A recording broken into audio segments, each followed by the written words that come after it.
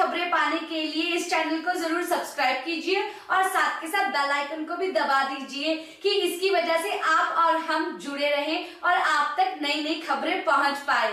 नमस्कार दोस्तों, आप देख रहे हैं एच न्यूज़ नए साल में आएँगे 10 लाख नए रोज़गार। 10 प्रतिशत तक बढ़ सकता है वेतन।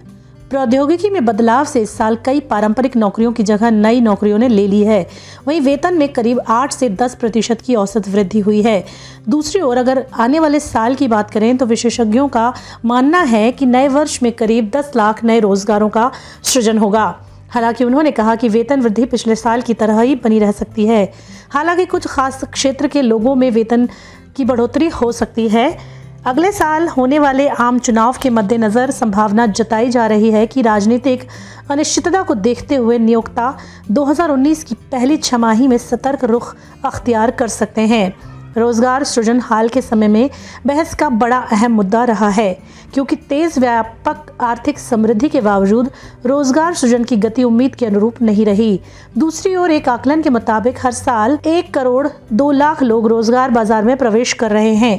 विशेषज्ञों का मानना यह है कि देश में रोज़गार सृजन को लेकर पर्याप्त और अविश्वसनीय आंकड़ों के अभाव के कारण भी स्थिति अधिक बदतर हो गई है। साल 2016 के नवंबर में नोटबंदी और 1 जुलाई 2017 को जीएसटी लागू किए जाने के बाद 2018 में भारतीय रोज़गार बाज़ार फिर से पटरी पर लौटता नज़र आ रहा है। Society for human resource management के परामर्श विभाग के प्रमुख निश्चित उपाध्याय के मुताबिक ये विडंबना है कि आम चुनाव के दौरान रोज़गार सृजन एक बहुत बड़ा मुद्दा रहने वाला है। इसके बावजूद संगठन 2019 में अपनी कारोबारी योजना को लागू करने को लेकर सतर्कता का रुख अपना सकते हैं। कम से कम साल की पहली तिमाही में रोज़गार सृजन प्रभावित होगा।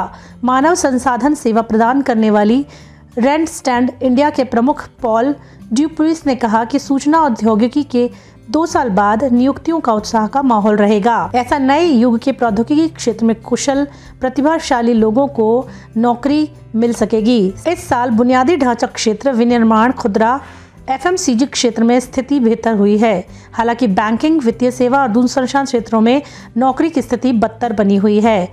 आपको क्या लगता है कि 2019 में नए रोज़गार के अवसर आपको फ़ायदा दे सकते हैं। अगर हाँ तो उस कमेंट में जाकर कमेंट करें और वीडियो को लाइक करें चैनल को सब्सक्राइब करना ना भूलें। धन्यवाद।